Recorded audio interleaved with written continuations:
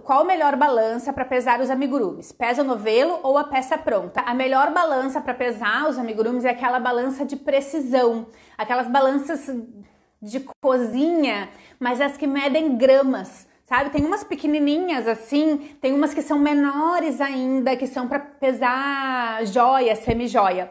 Tem no Mercado Livre, tem nas Americanas e, e, não são caras, tá? Umas balancinhas pequenininhas. Quanto mais precisão, procura balança de precisão portátil. E aí tu vai encontrar vários modelos de várias marcas, procura algum review e tal, mas essas então tem que ser essas de precisão. Te facilita porque são as menorzinhas e porque a gente quer pesar pouco, né? Poucas gramas. Então tem que ser essa. Aí se pesa a peça ou se pesa o novelo, pesa o novelo antes e depois de tecer. Tu vai ter pesar o novelo, a não ser que seja um novelo fechado, né? Mas, por exemplo, aqui, eu vou pegar aqui, ó, tá? Eu tô com um novelo de charme aqui, o novelo de charme, deixa eu ver quantos, quantos gramas tem. 150 gramas, tá? O novelo fechado de charme.